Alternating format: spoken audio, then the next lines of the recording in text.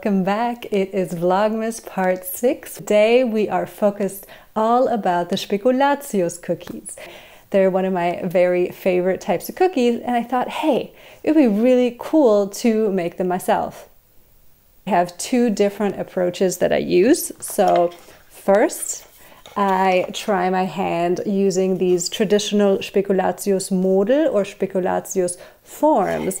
And then for comparison, I give it a go with these much more contemporary forms. And I'm also going to share a little bit of the history of Spekulatius, which is actually something that is quite interesting if you're interested in illustration because they are these very visual storytelling kind of cookies. And then for the additional illustration part, of course, I'm going to be doing an illustration. So you will see basically a little food illustration.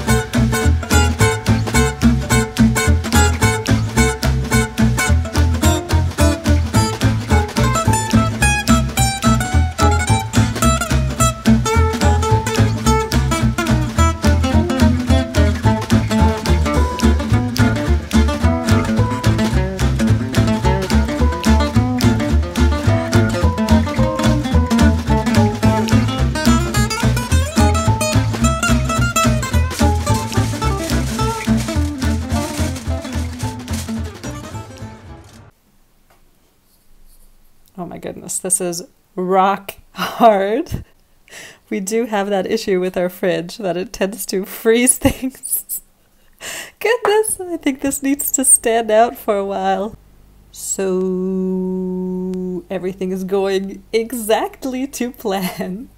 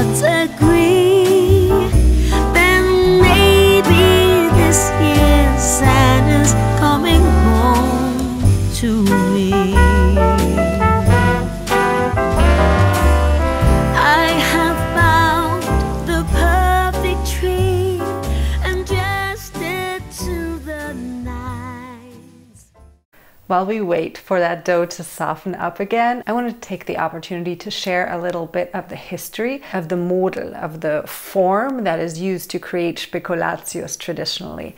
I actually bought this book on the subject and I have found it to be fascinating. So if you have any interest in kind of the history of illustrating, I think this ties in with it pretty well. And the reason is that these type of cookies that have a very visual kind of storytelling component to them came from the time when there was very little literacy in society. So people were not able to read, and because of that, they were able to read these pictures instead for information, teachings, religion, all sorts of topics to be shared.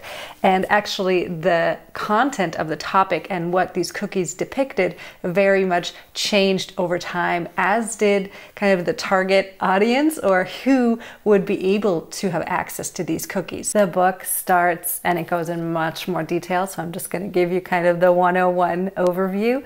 Um, but basically, going back as far as the ancient Romans and Greeks, you saw that kind of relief structure, and often it was really for decorative urns, for example, rather than for food. But they already used this technique. And then in the 1400s, you see it in Switzerland in the cloisters, and that is where because they had access to honey, which was a sugar that they could produce themselves, they then had this tradition. And because you had this tradition in the cloisters, that's also why a lot of the imagery is religious at the beginning. Then it was a very regal, you know, luxurious item only for the ultra rich and powerful. And they had models made out of their own image, for example. They would have giant feasts where they showed off their wealth through the sheer number of different designs that they could have to tell their own story. They had a lot of these custom designs made of themselves, for example. And then over the years, it changed to depicting more of that everyday life of an everyday person. And so this book is really cool because it shows that transition. It also helps you, with a few examples, analyze kind of the symbolic meaning of these different designs. And it explains the transition from when you had, for example, like a single element to moving into mass production where you have multiple cookies in one sheet. The book also explains how you have, for example, the Renaissance style, then the Baroque style, which is going to be so much finer and more delicate. The book also goes into detail about the different type of molds, model, that you can use and which type is for which type of cookie. And basically one of the key differences is the depth of the form. So I'll show you two for comparison. Here you have one, which is relatively deep. You have much deeper, rougher designs. For example, for Lebkuchen, then this one is great for Spekulatius. And then you have really, really fine designs with tiny hairline kind of details that are not deep at all. And I'll show you one of those. So you can see the difference here. And these are used for anisbrötli, which is a very, very fine dough. And there's also forms that you can use to shape uh, marzipan. I love marzipan. Some of the molds work for multiple types of cookies, but usually there's kind of a range of which type of cookies and cookie dough you could work with for each of the different type of molds. So I'll just show you a direct comparison.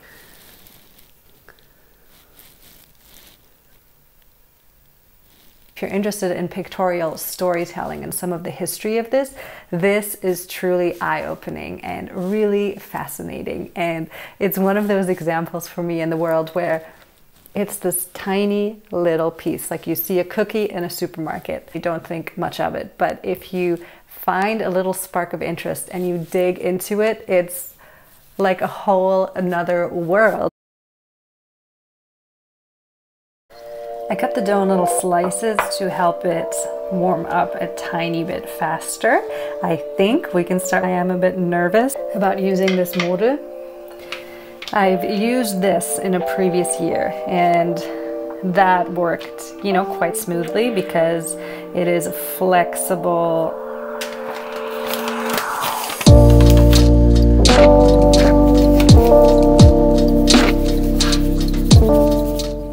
of this needs to go in there. I have a feeling this is way too much or way too little. but I guess I'll find out.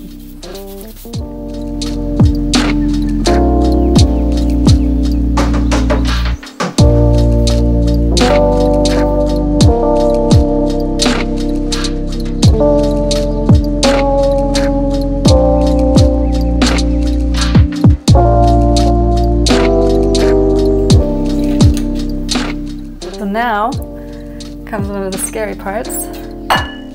You're supposed to lift this off somehow, and I have no idea how, so let's give it a shot.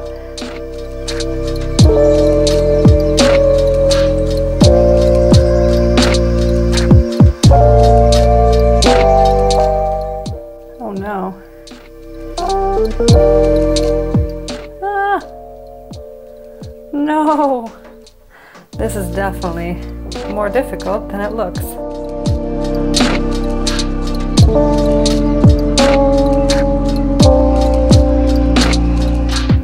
Goodness, this is a mess. That was only half the battle. Now you have to get these out of the form.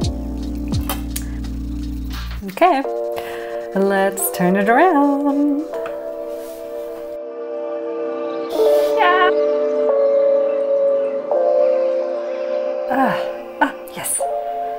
Comes the first one.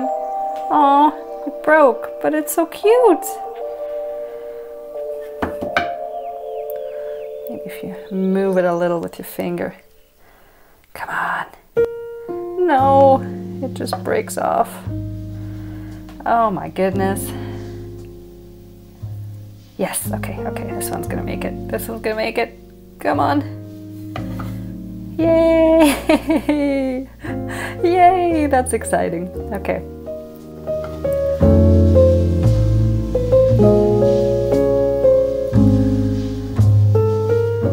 Come on, my little dog. Do you look like a dog? Hey! All right. My little pretzel, join the group. All right.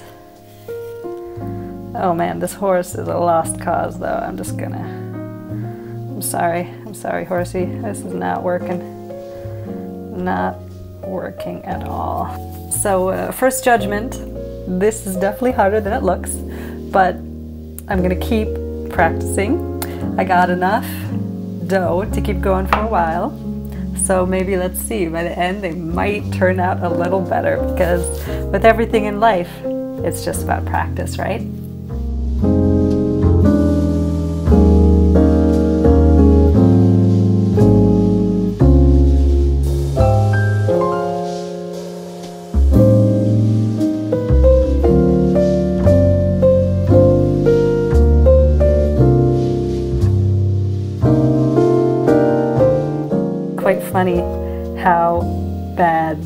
Going.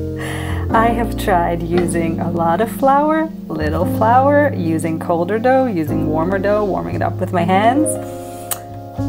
I don't know what I'm doing wrong, but I'm definitely not doing it right because I have managed to get out a total of hmm, four whole cookies and two half cookies out of a set that should have netted me 15.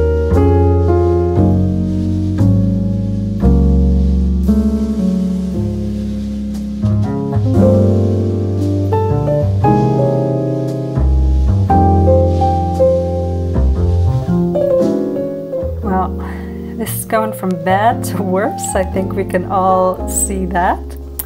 So I'm going to use wonderful old Google and see if there's any age-old tricks to making this work because clearly hundreds and thousands and millions of people before me probably have somehow managed to figure this out. All right, had some lunch read up a little on I'm feeling more confident that I might have a little trick for how to make this work. So, feeling inspired, feeling hopeful. So the trick that I read about is to take a little bit of fat and actually oil the model. And then only lightly cover it with some flour. So I feel like this is gonna be my last attempt. Either this is the way to go, or it might not be happening for me. What I definitely found is that I'm not the only person online that is struggling with Spekulatius. Okay, the second tip that I got was that definitely you want the dough to be cold. So you know how I let it warm up before because it was so rock solid? Well, maybe that would have been good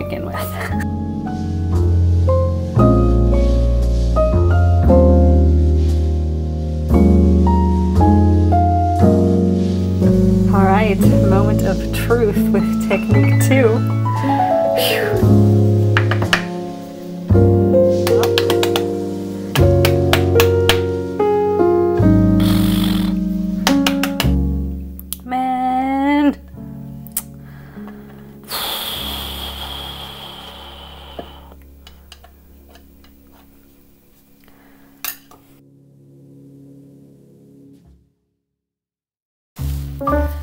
Switching to this because you know what? I would like to actually eat some cookies.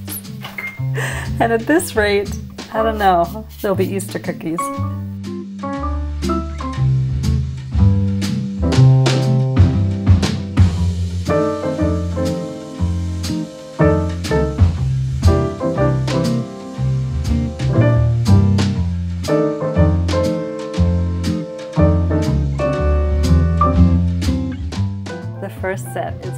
Finally ready to go into the oven.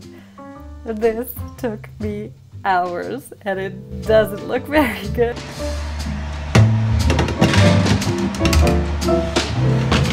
So just after I put the first rack of cookies in the oven, I thought I would eh, just out of curiosity, reread the instructions for these modern silicone Spekulatius molds because I thought, you know, the last time I used this, this seemed a lot easier. I was a lot more successful with this. And, um, yeah, let me just show you the sentence, the key sentence. Slide rack with the molds. What? Da da da da da da da. Before removing the biscuits from the molds, allow them to cool down for approximately 5 minutes on the rack.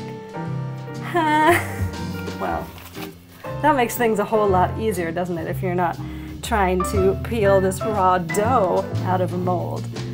It's just gonna pop out when it's baked, and I remember that's why it was so easy. So I'm just filling the two molds I have one more time now to try to get a second rack of cookies going. Wow, that is one beautiful Spekulatius cookie. Look at how, just look at how defined all those features are. For a beginner baker, such as myself, who maybe only bakes for very occasional special occasions, I would go with this modern version if you really want to commit to the craft, to the process, to learning and putting in the hours on the baking side, similar to my passion on the illustration side, then definitely the old school molds, the Spekulatius Model, are incredible. History rich, gorgeous, definitely a top pick. But for me, they were just too difficult to get to work and I'm super, super, super happy with these cookies. Ah, I was so glad I remembered to read the instructions. Let that be a lesson to you. Start there.